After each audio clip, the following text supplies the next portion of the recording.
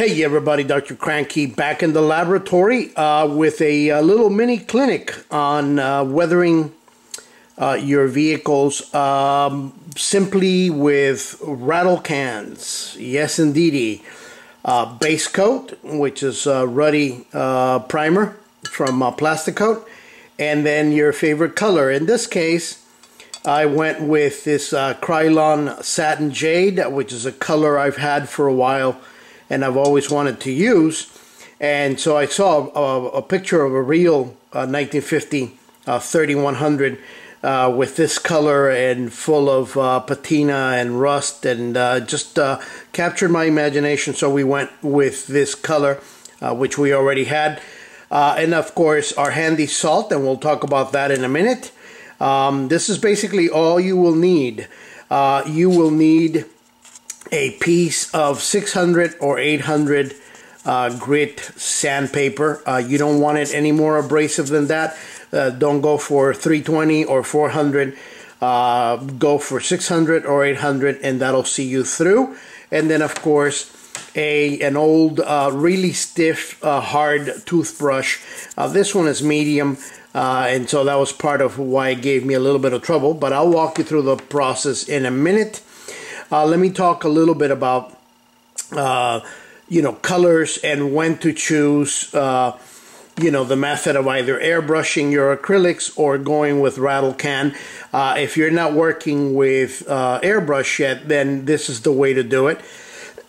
okay, um, if you're working with acrylics, then of course um, you could airbrush it. Uh, but you know, I I just wanted to do this. I didn't feel like decanting uh, the, the color. And so I, have wanted to uh, answer the call for a uh, clinic uh, basically uh, that discusses uh, doing the, the, the this kind of basic weathering just using rattle can, which is very easy. And again, this is all you need. you need salt. this is one kind, sea salt, coarse, but I also use regular, you know, Morton's table salt and a little bit of sprinkling of uh, baking uh, soda, okay, or baking powder, and um, and maybe a you know a, really a, a big coarse um, uh, salt grain. Okay, so you just mix them all up, and uh, you get going with that uh, without any problems. Now, um, of course, you know you apply your base coat we we use plastic coat exclusively here in the uh, laboratory it's really come down to the very best uh, primer we've uh, used and we've gotten consistent results every single model that we paint uh, has um, plastic coat on its uh, foundation so then so you apply a coat of the um, of the primer everywhere, of course. Then you add the salt. That process is described in a couple of other clinics uh, in the archive, so look for them. Okay, so you apply your salt with water, and then you you know you take your paint and you apply it and smooth um, you know strokes uh, making sure that you don't necessarily get full coverage right away. You apply a couple of coats, you allow for it to dry, and then you apply a couple of wet coats, and that should do it. Now, here's the the key and the uh, and the difference between uh, rattle canning your uh, salting technique or uh, using airbrush. When you rattle can, that paint is coming out of there really thick and really wet. So it's going to cover your salt and it's going to make it stick to the uh, to the to the body. And so you have to basically, you know, let me remove this. Uh, it's a, you know, it's not. We're just mocking it for for the purposes of this.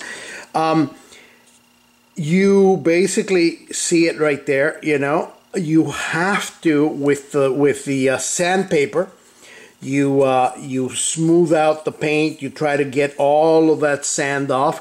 You can leave the body soaking in uh, warm soapy water overnight. Nothing's going to happen to the paint.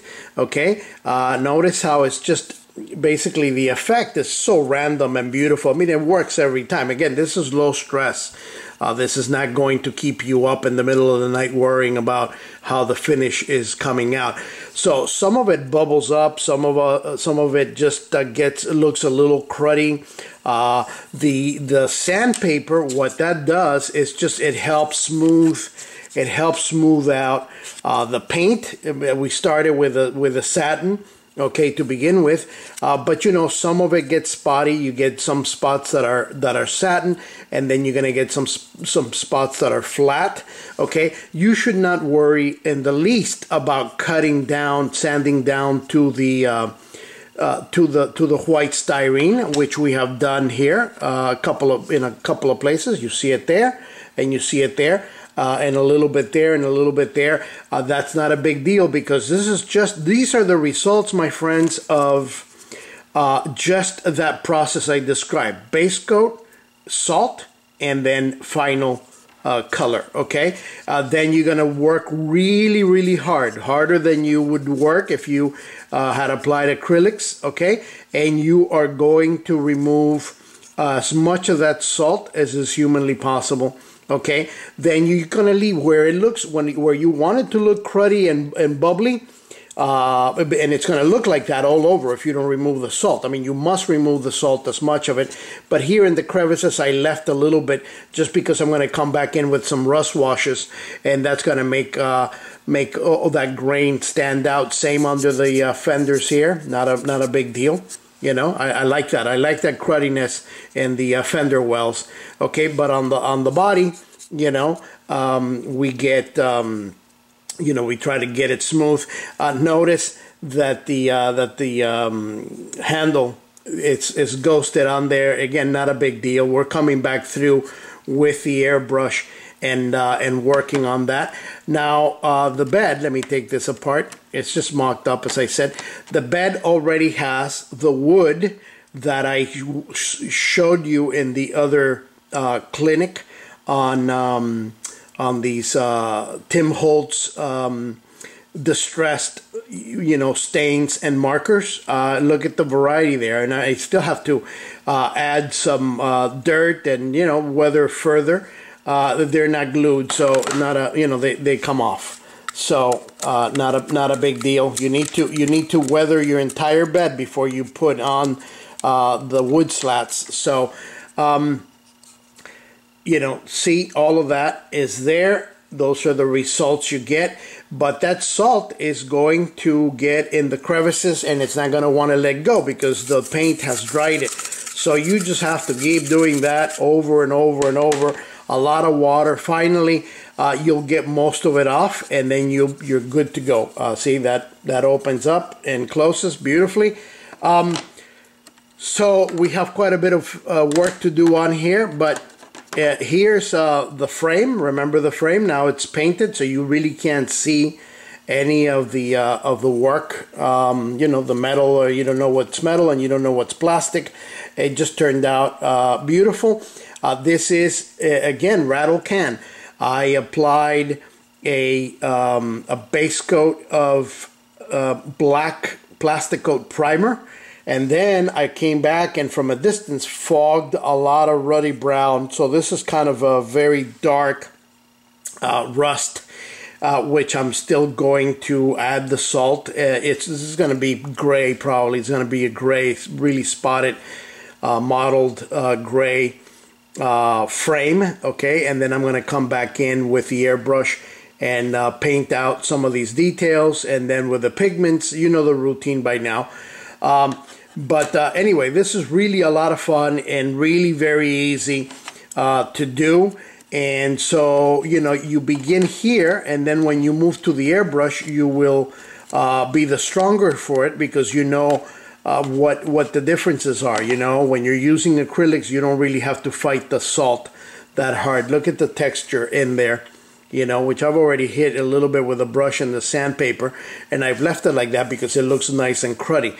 So we still have to come back in with with our uh, handy dandy airbrush and uh, pigments and paints and you'll see this one get transformed and uh, become I hope a very interesting model so anyway uh, that's it my friends. That's a little mini clinic on how to do it with um, with rattle cans okay? You can those of you who've been wanting to try it but kept thinking oh I need acrylic paints and I need an airbrush not true.